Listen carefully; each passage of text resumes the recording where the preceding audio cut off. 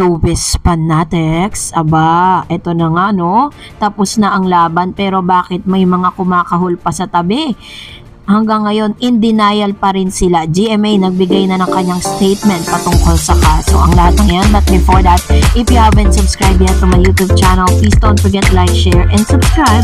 At hit mo na rin ang notification bell for more showbiz updates. Bago tayo magpatuloy sa ating updates for today's video, ay nais ko po muna magpasalamat sa lahat ng mga legit viewers, subscribers, and legit Davercans po natin na lagi nag-aabang at umaantabay sa ating mga videos. Happy Sunday everyone!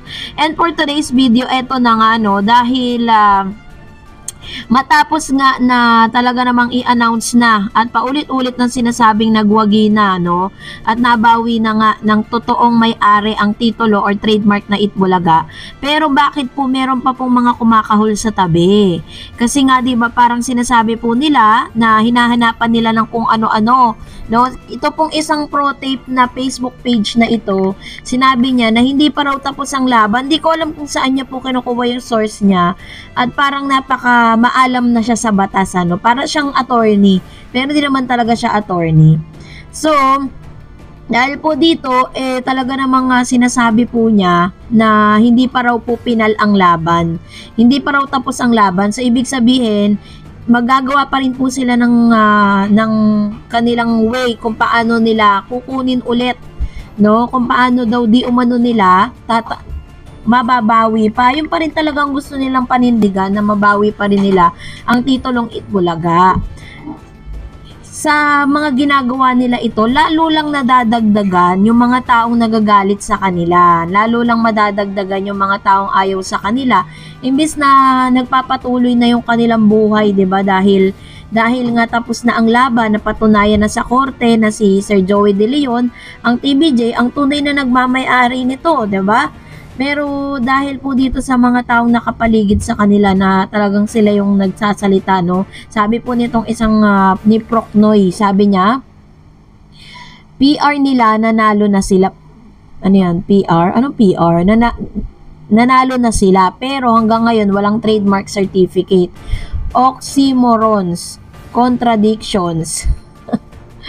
so, isa pa to, eh, diba? Parang siya rin mismo, is ginagawa niya rin tanga yung sarili niya na parang sinasabi niya na na kiniklaim na ng uh, ah, TBJ, eh Marikina Regional Trial Court na nga ang nagsabi that it was being honored to Joey De Leon. So kahit po walang certificate yan, dahil uh, pwede, anytime pwede naman talaga nila makuha yan eh, kung gustuin po nila. Pero mas matibay yung kung ano ang sinasabi ng uh, korte. Sinong may sabi niya? Sinong may sabing nanalo na sila sa isang preliminary decision? Hindi pa tapos ang laban. Mukhang siya yata ang lalaban pa, no? Siya yata ang lalaban against sa TBJ. Samantalang yung mga Tape Incorporated, maging ang mga host, tinanggap na nga nila na natalo sila eh. Kaya nga ang tawag nila sa mga sarili nila eh sabi ni Buboy, si Buboy mismo nagsabi nito na sila daw ay ang Lot Lot and Friends, no?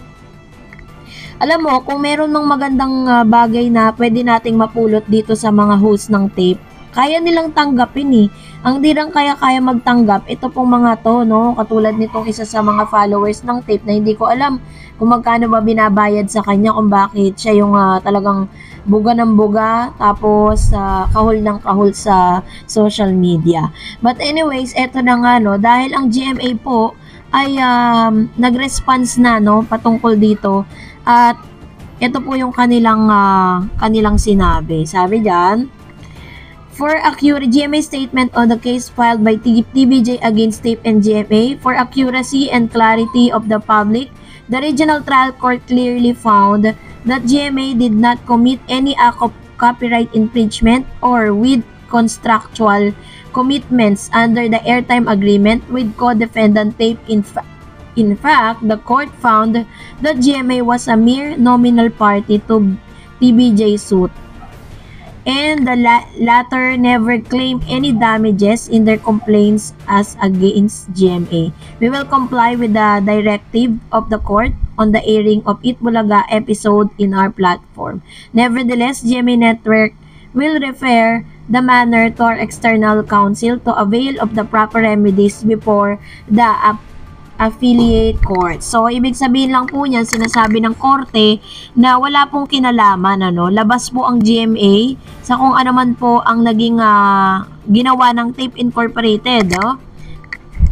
Patungkol dito kasi 'di ba dinamay po ni Tito Soto ang GMA Network no patungkol po dito sa copyright infringement case. January 6, 2024, Giant Media Giant GMA Network officially addressed the case brought against them and production company, television and production exponent by Tito Soto, Big Soto, and Joey De Leon or TBJ. GMA official statement came a day after TBJ disclosed the ruling made by the Regional Trial Court RTC Branch 273 in Marikina City during the set of noontime show EAT. Sa madaling salita, sabi niya nanalo po sila. So in, re- in response po doon to clarify, GMA continues to clarify its position in the legal battle by underscoring itself as a nominal party, citing no damages were claimed by TBJ in their complaint against the Kapuso Network.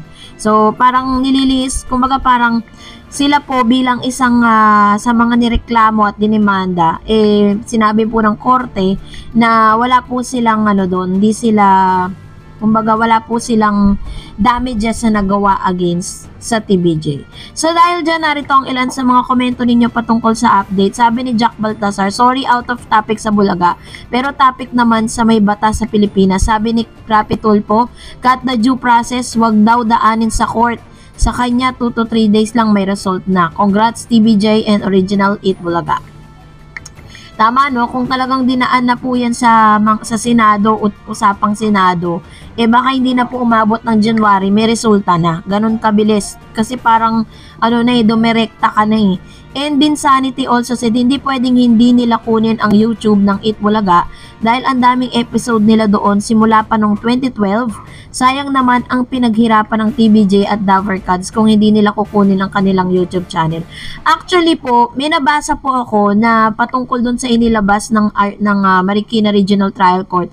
Nakasama pala yan all channels including any platforms. So, ibig sabihin, even the YouTube channel, kasama po dun sa mababawi po nila. Kaya hindi na nila rin ginamit eh. Sabi ng everything's legit, yan lang ang dapat. Hindi, hindi rin pang mangyayari kung showtime ang papalit doon kasi may bagong noontime show ang GMA. Ayun. So, ang tinutukoy po nila dito is yung tahanang pinakamasaya ang wish lang talaga natin, ano, talagang uh, matapos na lahat at okay na po ang lahat. At talaga namang uh, ma mag-move on na ang lahat patungkol dito sa bagay na ito. And of course, Miss uh, Ricar Siaga. Thank you Lord, babalik ng title ng Itbulaga sa TBJ. Congrats Dabar Cards. And Mark Lawrence Macas, congratulations TBJ Itbulaga sa TV5. Hashtag Dareds Channel. Hashtag TBJ. Thank you po, Mr. Mark. But Dareds po ako ha, hindi Dareds. For correction. Joel Lau also said, Good noon, Idol Dareds. Tayo ay magsaya at magdiwang dahil na naig ang katotohanan. Para sa legit Davercads, iyak lahat ng mga tape bulagta, tahanang pinasara. Hashtag legit Davercads. Ayun. So, ito po yung kanyang uh, komento patungkol dito sa bagay na ito. Pero according sa ilang mga followers po nila na hindi pa raw yun ang uh, pinaka-final kasi parang nabigla sila, hindi sila handa. So sabi naman ni Mr. Dennis Aguinaldo, wag po kayo mag-alala tape, andyan naman po si Attorney Conti, siya po ang bahala. Mahaba pa po ang laban. Ha ha ha. Ayun. So, kahapon nga po nakita natin yung uh, fest ni Paolo na medyo naglaylo siya dun po sa pagsasalita. Kasi nga po Marikina Regional Trial Court na ang nagsalita. Well, kung nagustuhan mo ang video na ito, huwag mo kalimutang mag-like, mag-share, at mag-subscribe at i-follow mo na rin ang aking Facebook page, Dareds TV. And also, I have my TikTok account which is Dareds TV. Pwede nyo rin po akong i-follow doon. Thank you for watching guys. God bless everyone!